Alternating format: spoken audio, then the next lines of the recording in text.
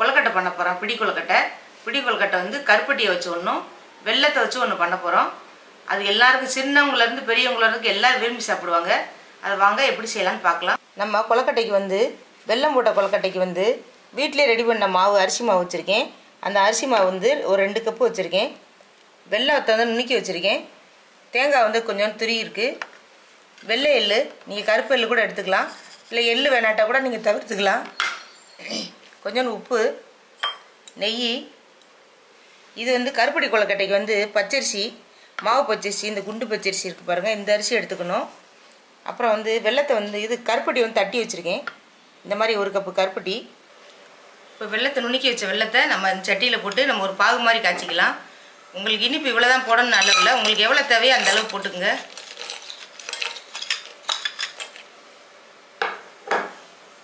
கொஞ்சம் தண்ணி ஊற்றி காய்ச்சிக்குங்க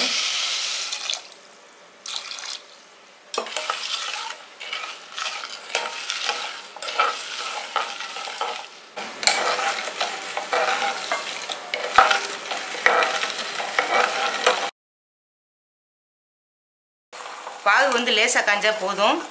நம்ம இருத்துக்கலாம் லேசாக இதில் மண்ணெல்லாம் இருக்கும். அதனால் கொஞ்சம் இருத்துக்கலாம்.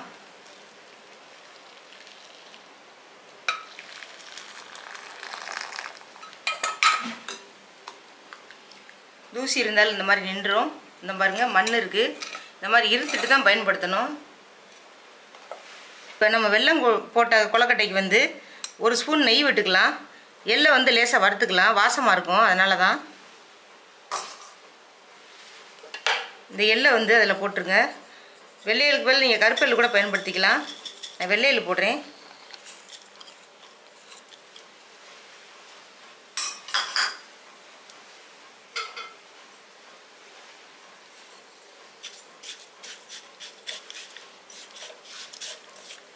எள்ளு கொஞ்சம் பொரியட்டும். பொரிஞ்சால் நல்லா வாசமாக இருக்கும். கொலக்கட்டை வெல்லம் போட்டு பண்ணுறதுக்கு இந்த மாதிரி எள்ளை பயன்படுத்தினீங்கன்னா சூப்பராக இருக்கும். எள்ளு வேணாட்டா நீங்கள் தவிர்த்துக்கலாம்.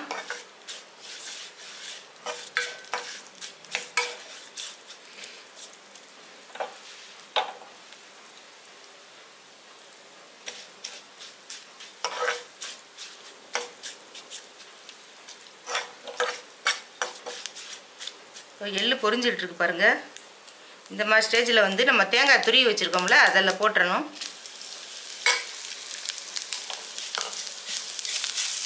இதில் போட்டு தேங்காயை லேசாக வதக்கிங்க. இந்த மாதிரி வெள்ளம் போட்டதுக்கு தேங்காய் துருவி போட்டு வ- வதக்கி வச்சிங்கன்னா ஒரு ரெண்டு நாள் இருந்தாலும் கொலக்கட்டை கெடாது நல்லாயிருக்கும்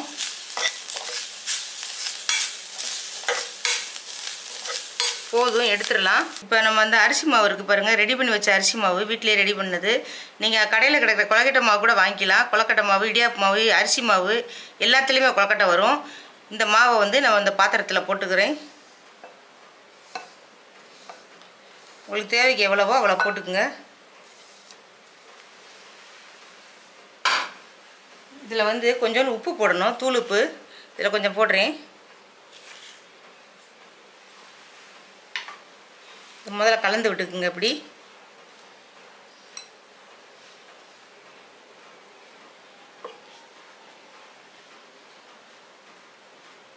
உப்பை கலந்து வச்சு இப்போ நம்ம அந்த வெள்ளை பாகு வச்சுருக்கோம் பாருங்க. இதை ஊற்றி நம்ம வந்து இந்த கரண்டி காம்பால் கிளறும் போது உங்களுக்கு ஈஸியாக இருக்கும். இப்போ இதை ஊற்றுவோம்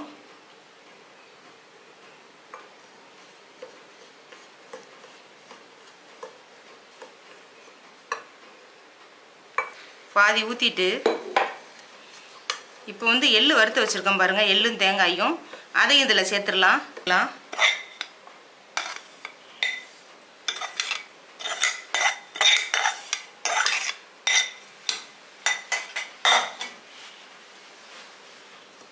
இதையும் சேர்த்து இப்படி ஒன்று சேர்ந்து கலரணும். வெள்ளைப்பாக பார்த்து ஊற்றிக்கிங்க கொஞ்சம் கிளறிட்டு பார்த்து ஊற்றிக்கலாம்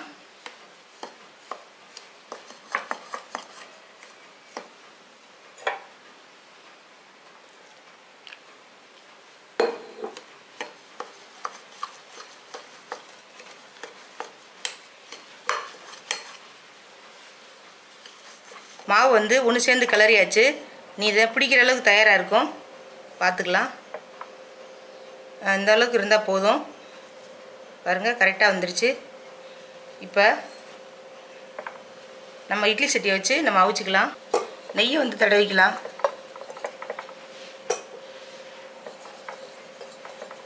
உங்களுக்கு தேவையான அளவுக்கு சின்னதாக பிடிச்சிக்கங்க. இல்லை கொஞ்சம் பெருசாக வேணாலும் பிடிச்சிக்கங்க. உங்களுக்கு எப்படி விரும்புகிறீங்களோ அந்த மாதிரி பிடிச்சிங்க இந்த மாதிரி நல்லா உருட்டிட்டு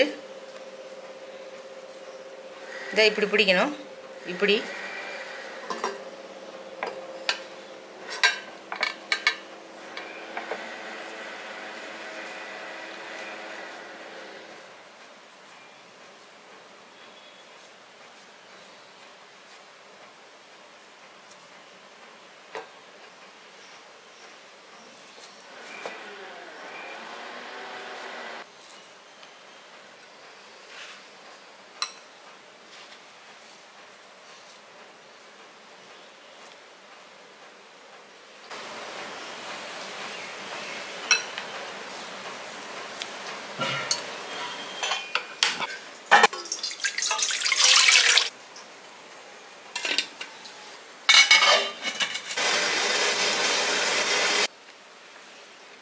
இப்போ பத்து நிமிஷம் கொலக்கட்டை வந்துருச்சு.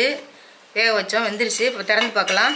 பாருங்கள் சூப்பரான கருப்பு கொலக்கட்டை ரெடி ஆயிடுச்சு. இப்போ அதை வந்து எடுத்து வச்சிடலாம். சூடாக எடுத்துடலாம். பாருங்கள் அருமையான கொலக்கட்டை ரெடி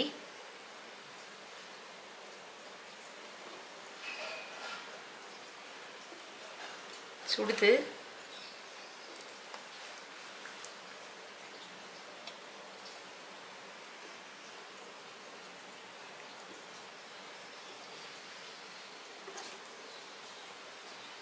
கருப்பட்டி பொடி பண்ணுறதுக்கு வந்து இந்த அரிசி இருக்குது பார்த்தீங்களா குண்டரிசி இதை வந்து என்ன பண்ணியிருக்கேன்னா ஒரு ரெண்டு மணி நேரத்துக்கு முன்னாடி தண்ணியில் ஊற போட்டு நல்லா கழுவிட்டு ஊற போட்டிருக்கேன்.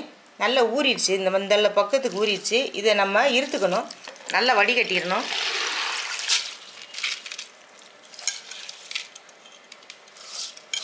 ஒரு ரெண்டு மணி நேரம் மூணு மணி நேரம் நல்லா ஊற போட்டுட்டிங்கன்னா இங்கே பாருங்கள் அரிசி உடையிற அளவுக்கு நல்லா ஊறணும் இப்படி.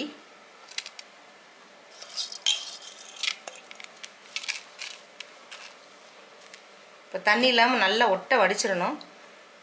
நல்லா கொஞ்சம் ட்ரை ஆன உடனே நம்ம வந்து என்ன பண்ண போகிறோம்னா அது மிக்சியில் போட்டு நம்ம நல்லா பவுடர் ஆக்கி நம்ம அதை பயன்படுத்த போகிறோம் அரிசி வந்து நல்லா உணர்ந்துருக்கு.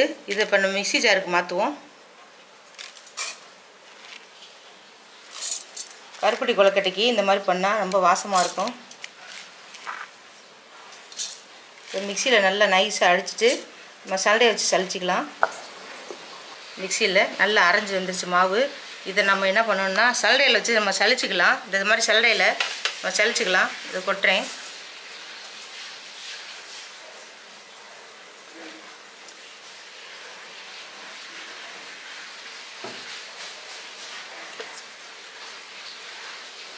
சல்லடையில் வந்து இப்படி சளிச்சிக்கணும். நைஸாக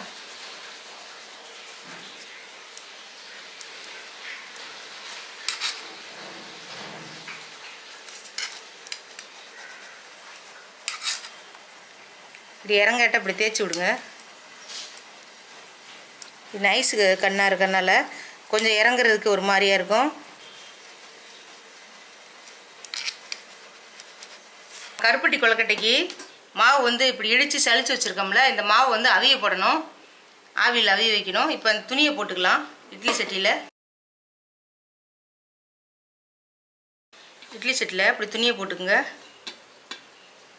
துணி ஈரமாக்கக்கூடாது இப்படி காஞ்ச துணி தான் போடணும். ஈரமானால் மாவு வந்து உள்ளே போய் மாவு துணியில் ஒட்டிடும் அதனால் இப்படி க துணி காஞ்ச துணி தான் போடணும் இட்லி துணி. இந்த மாவு பாருங்கள் எப்படி நல்லா பொழு பொழுன்னு இருக்குது இதை வந்து நம்ம சட்டியில் அவிய விடணும்.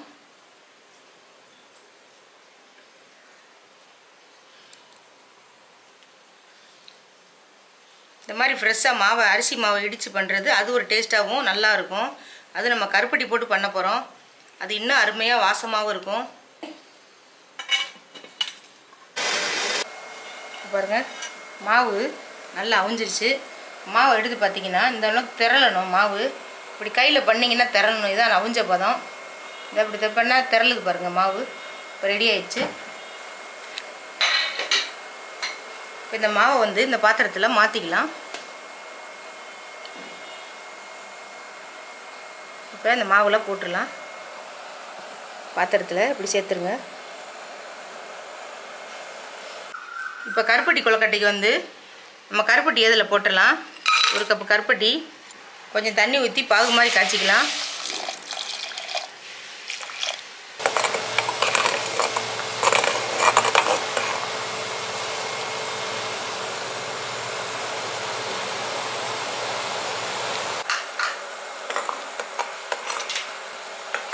இப்போ கருப்பட்டி ஓரளவுக்கு காய்ச்சியாச்சு. இதை தூக்கி ஊற்றிக்கலாம் கம்பி பதம்லாம் வேண்டியதில்லை.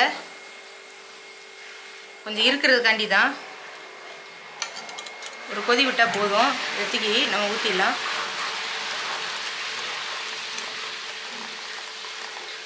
எல்லாருக்கும் மண் இருந்தாலும் வந்துடும் அதுக்கு தான் அப்படி இருக்கிறது. அந்த சூட்டோடையே நம்ம வந்து போட்டு கிளறிடணும். இந்த அவிஞ்ச மாவில் வந்து இந்த கருப்படி காய்ச்சின பாகத்துக்கு இதில் ஊற்றணும்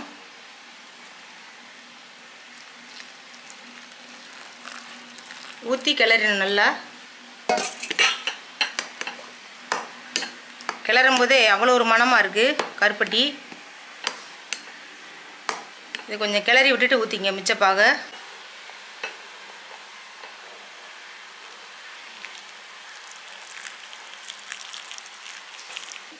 பச்சை மாவு வந்து அரிசியை வந்து இந்த மாதிரி பண்ணி பண்ணும்போது குளக்கட்டை வந்து ரொம்ப வித்தியாசமாகவும் நல்லாவும் இருக்கும். இதெல்லாம் பாரம்பரியமாக பண்ணுறது இதெல்லாம். இந்த மாதிரி யாரும் பண்ண மாட்டாங்க. நம்ம கடையில் கிடைக்கிற மாவே வாங்கி டக்குன்னு நம்ம பண்ணிடுறோம். இது கொஞ்சம் வேலை இழுத்தாலும் நல்லா இருக்கும். இந்த மாதிரி வந்து அருமையான கொழுக்கட்டை வந்து செஞ்சு பாருங்கள் அடுத்து இதே மாதிரி தான் பண்ணுவீங்க. மாவு ரெடி ஆயிடுச்சு. இப்போ கொலக்கட்டையில் பிடிச்சிக்கலாம். இப்போ மாவு நல்லா ஒன்று சேர்ந்து வந்துருச்சு. இப்போ கையால் வந்து இப்படி கொஞ்சம் அழுத்தி விட்டுக்கலாம். எங்களுக்கு வந்து தேங்காய் கொஞ்சம் பிடிக்கும். அதனால் தேங்காய் போட்டுக்கிறேன். உங்களுக்கு தேங்காய் பிடிச்சின்னா இந்த ஸ்டேஜில் தேங்காய் வந்து இப்படி கட் பண்ணி சேர்த்துக்குங்க. தேங்காய் வேணாட்டாலும் நீங்கள் விட்டுடலாம். தேங்காய் சேர்க்கும்போது ரொம்ப டேஸ்ட்டாக இருக்கும். அந்த கருப்பட்டிக்கும் இந்த தேங்காய்க்கும். இதை போட்டு கையை வச்சு நல்லா பிணைஞ்சிடலாம்.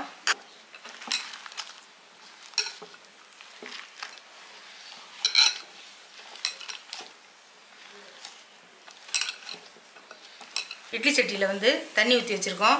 இந்த மாதிரி ஒரு தட்டு போட்டுக்குங்க. தட்டு போட்டு கொஞ்சோண்டு எண்ணெய் நெய்யை தடவை இருக்கேன் நான். இந்த மாதிரி. இந்த கொலக்கட்டையில் எடுத்து இங்கே பாருங்கள் கையில் ஒட்டவே இல்லை மாவு. இந்த மாதிரி சூப்பராக ரெடியாக இருக்குது இப்போ பச்சையை வந்து மாவை பச்சரிசியை ஊற போட்டு இடித்து உடனே பண்ண மாவு. கையில் ஒட்டியிருக்கான்னு பாருங்கள் ஒட்டவே இல்லை. இந்த மாதிரி இப்படி அழுத்து பிடிங்க.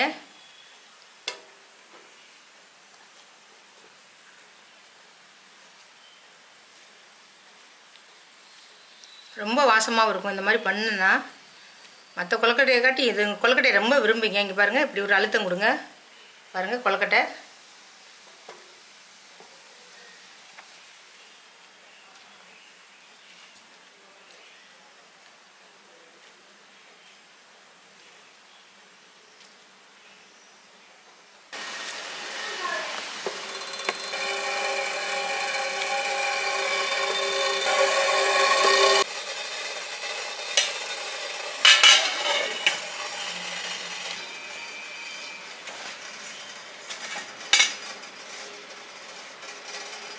மணக்க மணக்க கொலக்கட்டை ரெடி ஆயிடுச்சு பாருங்கள் எவ்வளோ அற்புதமாக வந்திருக்கு. நம்ம பிளேட்டில் மாற்றிக்கலாம் சூப்பரான கொலக்கட்டை